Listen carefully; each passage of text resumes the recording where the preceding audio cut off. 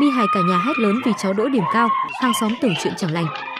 Sau hai ngày kể từ vụ lao ra khỏi cổng khi nghe tiếng hét thất thanh từ nhà hàng xóm, chị Nguyễn Thị Huế, xã Tân Sơn, Đô Lương, Nghệ An vẫn không nhịn được cười khi kể về sự việc hy hữu của mình. Theo chị Huế, sáng ngày 17 tháng 7, vợ chồng chị Huế và cô con gái 15 tuổi ngồi chơi ở phòng khách còn cậu con trai đang học trong phòng. Lúc đó, tiếng la hét thất thanh vang từ nhà cụ Cao Thị Hợp, gần 90 tuổi, hàng xóm gia đình chị Huế. Cụ Hợp cao tuổi, chân tay yếu, đi đứng không vững. Cụ sống một mình, các con ở cách đó 5-6 km. Nói thật, khi nghe tiếng hét thất thanh từ hướng nhà cụ Hợp, vợ chồng tôi đã nghĩ đến chuyện chẳng lành, chị Huế kể.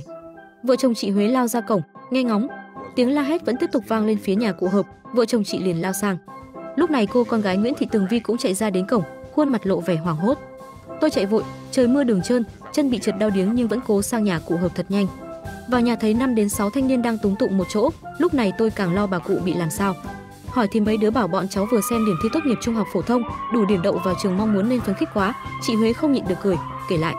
Sau khi mắng vốn mấy đứa trẻ vì không hét vui mà hét hoảng, vợ chồng chị Huế đưa nhau về nhà. Phải mất 20 phút sau tôi mới hoàn hồn, chị Huế cười,